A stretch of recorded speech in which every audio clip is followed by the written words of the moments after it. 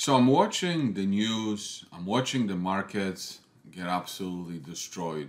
And if you look at some of the news that you know you see on Google News talking about, you know, Dow Jones futures shares continue to slump as fears about the economy and earnings. Robinhood shares plummet as the company announces playoffs. playoffs, layoffs. Um, so people are now obsessed, obsessed with the macro. The macro is three inches in front of the face. We're gonna have a recession. We're gonna have a housing crash.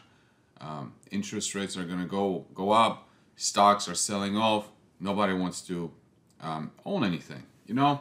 And um, and um, couple days ago, I you know made a deposit into my brokerage account, and and I and I'm buying something, right? I'm buying something, and and no, no, it's not Oracle, it's not Voxtur, it's not Globex, only because I have enough shares of those companies. But you know, I'm just thinking to myself, I'm buying this particular company, and not in one second, not in one second, did I consider uh, what the interest rates are going to do uh, whether we're going to have a recession, whether there's going to be a stock market sell-off. It didn't. It didn't even occur to me in one second. All that matters to me is I like the company. The company is growing. The company is cheap. The business is wonderful.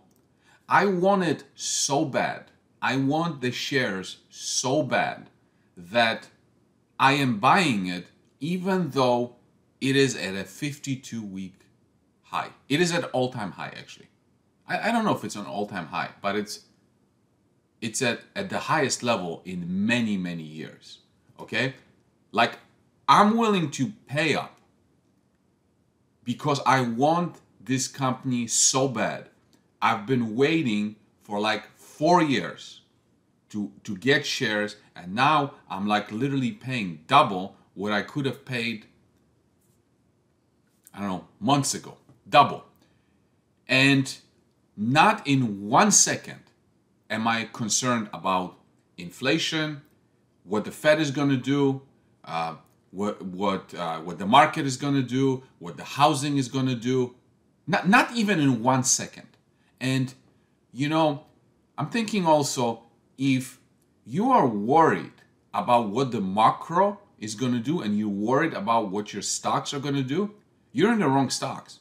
If the macro has so much impact on your stocks, you're in the wrong stocks. And um, and you know, anytime I make a purchase, I don't care if I didn't have if I didn't have enough Voxtur, I would be buying it just every day. Doesn't matter what what what anybody says. Doesn't matter how negative the news is. If I didn't have enough Oracle, I would be buying it. And think about things like copper, for example. It, it, it literally was like, I don't know, weeks, a few weeks ago. Remember how copper copper hit five bucks, right? Copper hit, hit five bucks. All the articles were talking about copper shortages. We don't have enough copper, electric cars. My God. Two weeks in front of their face. Oh yeah, now now it's like China is on lockdown. Uh, I guess we don't need copper anymore, right? Like seriously, this world is so fucking fucked up and ridiculous. Like, like, uh, literally, not like everything has to be in front, three inches in front of the face. Like literally, every two weeks is something different. Okay, it is just amazing. Like the, the attention is just like so short right now. So I'm buying this stock and it's like, I'm thinking like, where's this company going to be, you know, in five, seven years? Like, how much am I going to make on it in so many years? I'm thinking about how can I get my hands on on as many shares as humanly possible. And it's like, why isn't everybody thinking like this? I don't get it. It's like macro is here, it's negativity, recession. It's like, you know what?